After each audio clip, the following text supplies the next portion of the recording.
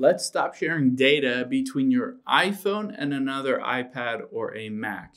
Now, if you have multiple different Mac devices, a Mac computer, an iPad, an iPhone, but you don't want to share a bunch of data between the different devices, maybe you want to keep the messages, the Safari, your music, your photos, all of that only on your iPhone. You can always disable all those features. So to do that, we'll hop into our settings here and we'll just tap your name at the very top.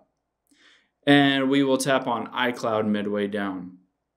Now here you can see apps using iCloud. So the key thing here is that you can go through and disable all of these and that will turn off all of that specific data as it's shared between different devices. Or another option potentially is if you don't want anything to be shared, you can always go to that other device and just sign out of your iCloud. So just don't be signed into the same account, and obviously it won't sync up the same iCloud data. But if you still want to be signed into that other account, you just want to remove some of the data, you can hit that show all and then basically just go through this and decide what you do and don't want to share between your devices.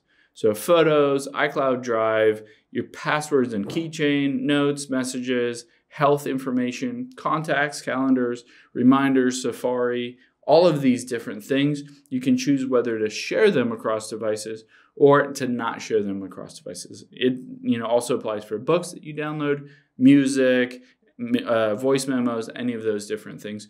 You can choose whether they're downloaded on other devices or not. Hope this helps. If you have any questions on that, leave them in the comments down below, and I'll catch you on the next one.